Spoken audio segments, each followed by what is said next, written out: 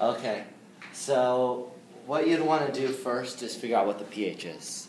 So we have this sodium chloride. So what's the pH, everybody?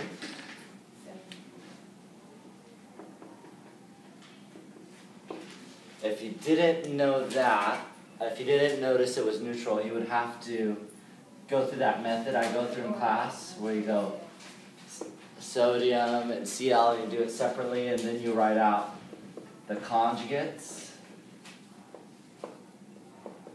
And then both of those are strongs, so both of these would be neutral. So this has to be pH 7.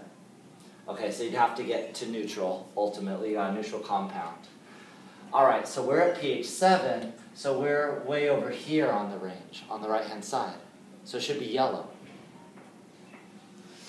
So it's turning from red to yellow as you go through that range.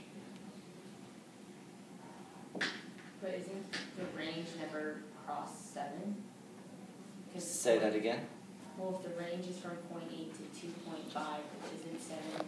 So anything past two point five would still stay yellow. Mm-hmm. Oh, got it. Mhm. So That was- the indicator changes from red to yellow in the range 0.8 to 2.5. So it could be, it could change at 0.9, it could change at one point five.